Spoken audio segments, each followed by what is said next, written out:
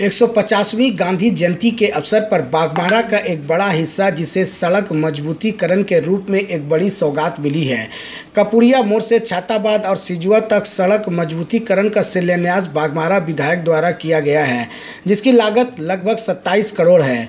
इस दौरान कपुड़िया मोड़ पर महात्मा गांधी और लाल बहादुर शास्त्री के जयंती पर शिलान्यास और स्वागत समारोह का आयोजन भाजपा द्वारा किया गया, जिसमें बतौर मुख्य अतिथि भाजपा के बागमारा विधायक डुल्लू महतो उपस्थित हुए। वहीं कार्यक्रम में हज़ारों की संख्या में भाजपा कार्यकर्ता एवं महिलाएँ मौजूद रही। इस दौरान विधायक का शक्ति प्रदर्शन की भी एक झलक साफ़ देखने को मिली।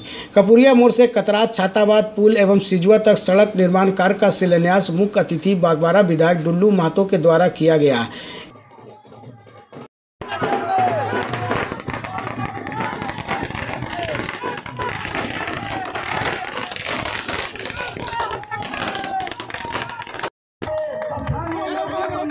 चाहिए चाहिए हाँ भैया एक मिनट।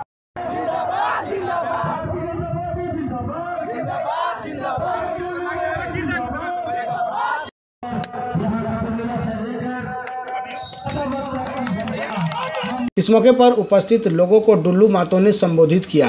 अपने संबोधन में विधायक डुल्लू महतो ने पूर्व मंत्री जलेश्वर महतो और ओपी लाल पर जमकर बरसे। उन्होंने कहा कि ये जो दो पूर्व मंत्री हैं, धनबाद में बैठे सिर्फ़ माफिया के इशारे पर काम कर रहे हैं। ये टाटा कंपनी और जिला परिषद, ये टेक्निकल प्रॉब्लम के चलते हमारा विधायक बनने के बाद टेक्निकल प्रॉब्लम बहुत ज़्यादा, बहुत लंबे समय से लगे हुए थे कि टाटा कंपनी बोल रहा था मेरा रोड है और जिला परिषद बोल रहा था मेरा रोड है। यहाँ के पूर्व विधायक कभी इस बात को सोचा ही नहीं और बनाने का प्रयास भी नहीं किया, दस साल मंत्री लगातार रहे। मगर हमने जैसे ही विधायक बने, उस समय लगातार उस समय से हम लगे हुए हैं और टाटा कंपनी से भी एनओसी लेने का काम किया और जिला परिषद से भी एनओसी लेकर पीडब्ल्यूडी में इस रोड को कन्वर्ट करवाने का काम किया। और माननीय मुख्यमंत्री जी का सहयोग और योगदान से मुख्यमंत्री जी का नेतृत्व में इन बातों को मैंने रखा और माननीय मुख्यमंत्री जी इन बातों को गंभीरता से लिया और इस क्षेत्र के जनभावना को समझते हुए इस रोड का निर्माण करवाने का उन्होंने पहल किया और आज शिलान्यास हम लोगों ने देख ही रहे किए। विरोधियों के पास कोई मुद्दा नहीं है, कोई समस्या नहीं है। हम लोगों ने तो बाघमारा विधानसभा क्षेत्र में लगभग 50 मंदिर का निर्माण करवाएँ। इस क्षेत्र में जितने भी रोड, पुल, पुलिया एक भी ऐसा समस्या नहीं जो कि हमें लगता है कि समस्या है और कोई समस्या अगर विरोधी के पास तो दे।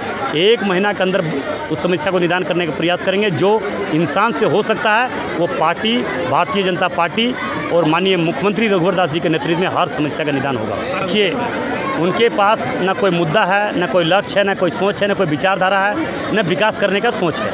वो सिर्फ़ और सिर्फ़ सोचता है कि हम किसी का आलोचना करने से विधायक बन जाएँगे। तो ऐसा अब जनता नहीं रह चुकी है। जनता अब हर कुछ समझ रहा है। जनता अच्छा काम करने वाला व्यक्ति को ही वोट देंगे।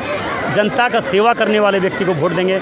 जनता के हर सुख दुख में रात दिन कभी भी खड़े होने वाले व्यक्ति को ही वो अपने आशीर्वाद और वोट देंगे और वही विधायक बनेंगे, जिसका परिणाम हम सामने खड़े हैं। मतलब जनता क्षेत्र के जनता का आशीर्वाद हमें बराबर मिलता रहा है और आज एक गरीब, मजदूर किसान का बेटा आज हम दो दो बार विधायक बने और तीसरी बार फिर रिकॉर्ड मत से विधायक बनकर इस क्षेत्र के लोगों का सेवा करने का काम करेंगे।